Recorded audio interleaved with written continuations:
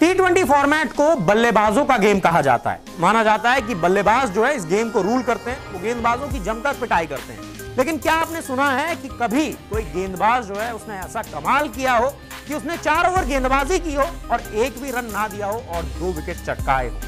जी हाँ ऐसा हुआ है। एक खिलाड़ी ने ऐसी ही गेंदबाजी की है टी ट्वेंटी फॉर्मेट में, चार ओवर गेंदबाजी की, कोई रन नहीं दिया। चार के चार ओवर मेडन फेंके और इसके साथ ही साथ दो विकेट भी लिए। और आप ये जानकर चौंक जाएँगे कि ये खिलाड़ी जो है वो एक भारतीय ही है। ये एक वर्ल्ड रिकॉर्ड बना दिया है और ये वर्ल्ड रिकॉर्ड बनाया है अक्षय कर्णवार ने।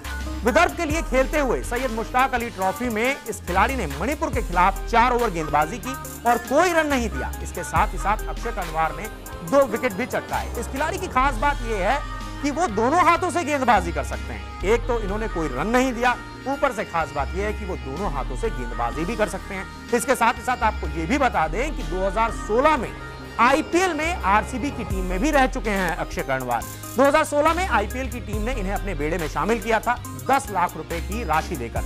लेकिन उसके बाद इनको एक भी मैच खेलने का मौका नहीं मिला डोमेस्टिक क्रिकेट खेल रहे हैं और लगातार अपने नाम की चर्चा करवा रहे हैं। बल्लेबाजी की बात करें तो एक सेंचुरी भी इनके नाम है। इसके साथ ही साथ इस मुकाबले में उन्होंने कैसी गेंदबाजी की और वर्ल्ड रिकॉर्ड कैसे बनाया। चलिए सबसे पहले आपको ये बताते हैं। अक्षय कर्णवार ने विदर्भ के लिए खेलते हुए मणिपुर के खिलाफ चार ओवर गेंदबाजी की और कोई रन नहीं दिया।